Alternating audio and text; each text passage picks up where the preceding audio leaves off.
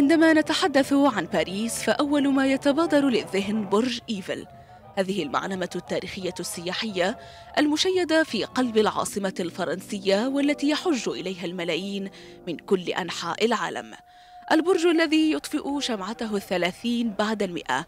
شيد في الأول بشكل مؤقت من أجل معرض العالمي عام 1898 لكن مصمم البرج غوستاف إيفل أراد أن يبقي على تحفته الفنية حيث تم إنشاء أول إذاعة على قمته. ورغم الدعوات الكثيرة التي دعت إلى هدمه بعيد تشييده بات برج إيفل اليوم من أبرز ميزات العاصمة الفرنسية وأكثر المعالم استقطابا للزوار في فرنسا. وكان برج إيفل أطول نصب في العالم في ذلك الوقت وبفضل قواعد التخطيط الحضري الصارمة لا يزال البرج يلوح في أفق باريس يمتع الناظر بمشهد أخاذ ألهم أبرز عدسات مصور العالم.